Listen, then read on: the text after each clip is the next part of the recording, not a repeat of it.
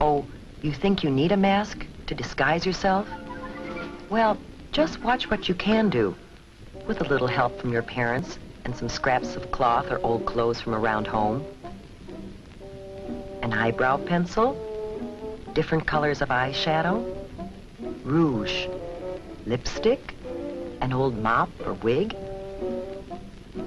some wax teeth, maybe some clay and food coloring, and a few other odds and ends. You'd be surprised what you can turn yourself into.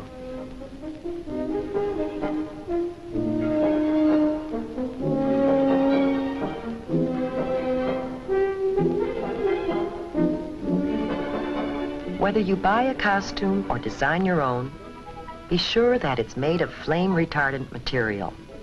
That means material that won't catch on fire easily.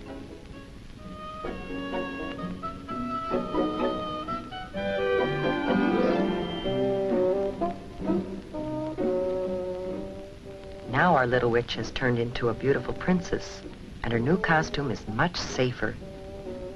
But there are a few other things you should do before going out. First, eat a big dinner.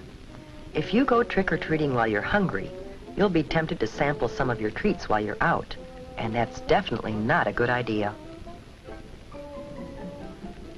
Keep an eye on the clock.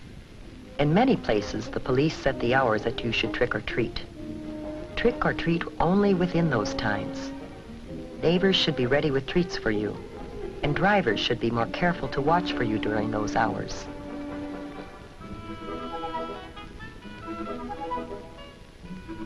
Make sure you carry a flashlight when you go. The light will not only help you see where you're going in the dark, but it will also make it easier for others, including drivers, to see you.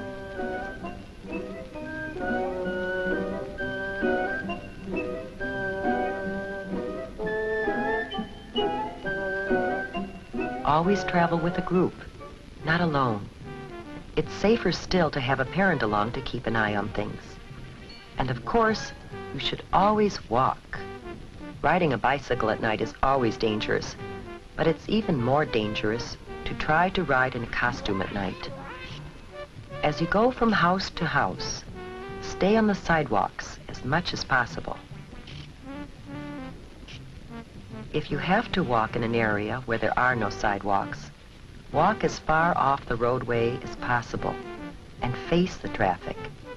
That way you can see what's coming and get out of the way if you have to. Cross streets only at brightly lighted corners, not in the middle of the block, and never between two parked cars. When you start across a street, cross quickly, but don't run, and don't stop in the middle of the street for any reason. Stay in your own neighborhood when you're trick-or-treating. Your neighbors are probably hoping to see you in costume on Halloween and it's safest to visit people you know.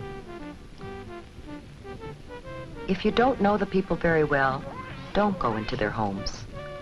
Most people enjoy having trick-or-treaters come to their doors. But there are a few people who will do things to hurt kids. They might put sharp or hard objects in candy and apples.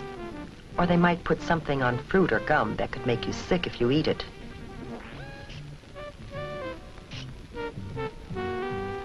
To be completely safe, save your treats until you get home.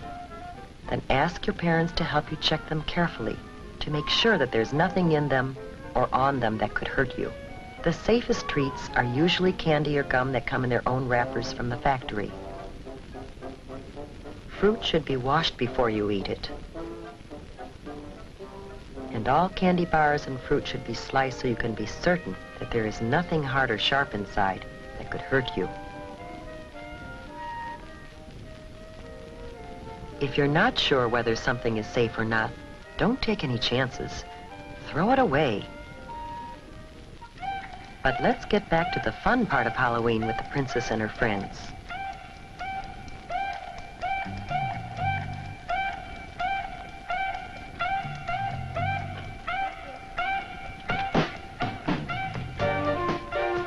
Almost everyone enjoys a good joke or riddle. What's your trick? What you guys eat for breakfast? What? Those toasters. What's what's a wiener when you take out its inside? What? A Halloweener.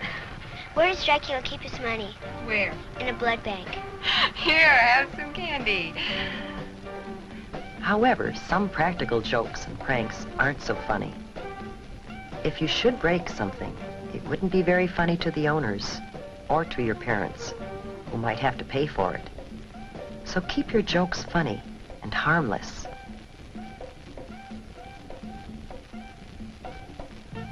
Tonight has been a magical night. We saw a scary monster changed into a beautiful, happy, and safe little princess. How about you? Will you follow the lead of the little princess and have a safe and super Halloween this year?